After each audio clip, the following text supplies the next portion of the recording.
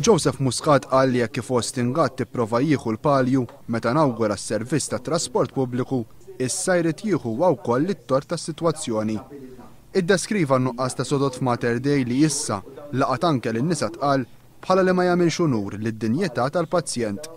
Il-Kap tal-Oppożizzjoni sostna li l-Prim Ministru għandu prijoritajiet ħżiena. Minflok jagħżel li jnaqqas l-operazzjonijiet tal-katarretti u mhux li jraħħas il-kontijiet tad-dawl u l-ilma, Lawrence Gonzi jmissu jagħżel li jnaqqas l-operazzjonijiet u mhux li jibni Parlament ġdid jew bridge li ma jwassal imkien. Nagħmlu l-operazzjonijiet jew nieħu bħala Prim Ministru ħames mitt ewro żieda fil-ġimgħa.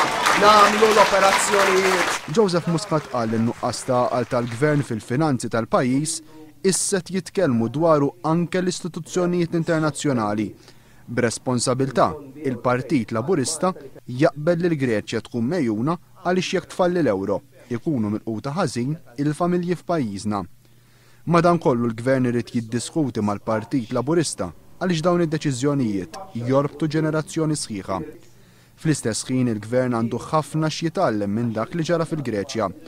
Joseph Muscat saħaq li l-Partit Laburista irid li jingħata l-appoġġ mhux għaliex il-Prim Ministru daħaq bin-nies iżda għax joffri l-aqwa strateġija u l-aqwa nies.